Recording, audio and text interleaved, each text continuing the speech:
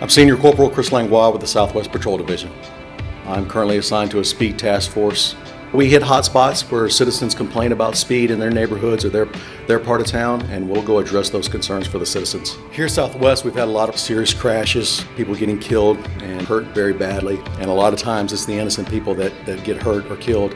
So not having to answer those calls and see those that carnage on the streets has been very rewarding for us. And obviously, protecting kids in school zones is, is an utmost importance. That's a big deal for us, uh, making sure the kids are safe.